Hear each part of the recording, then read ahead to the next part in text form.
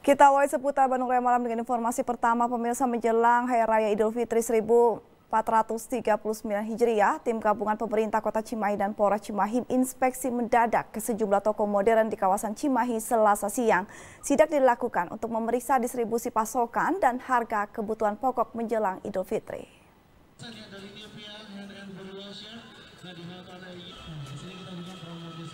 Inspeksi mendadak dilakukan Dinas Koperasi UMKM Perindustrian Perdagangan atau Diskoperindak, Dinas Pangan dan Pertanian atau Dispangtan, Dinas Kesehatan, Satpol PP Cimahi, dan Polres Cimahi ke sejumlah toko modern di kawasan Cimahi.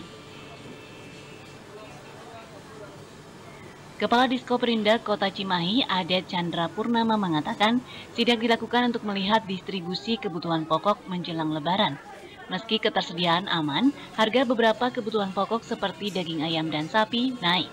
Uh, satu masalah distribusi kebutuhan pokok karena itu yang paling penting. Yang kedua masalah uh, kenaikan seperti diprediksi di awal kebetulan yang waktu awal dengan Pak Wali Kota ya dengan Pak Wakil malahan dengan Pak Kapolres langsung ya memang seperti seperti diprediksi siklus tahunan seperti itu di awal naik satu minggu orang sudah bosan makan ayam, makan daging sapi, turun lagi. Sekarang kondisinya memang turun. Jadi dilihat kalau di sini di 89 per kilo.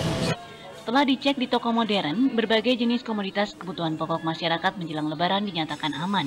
Jika terjadi kelangkaan kebutuhan pokok, pihaknya akan berkoordinasi dengan pemerintah Jawa Barat dan Badan Urusan Logistik atau Bulog untuk menggelar operasi pasar menjelang lebaran. Algi Muhammad Gifari, Bandung TV.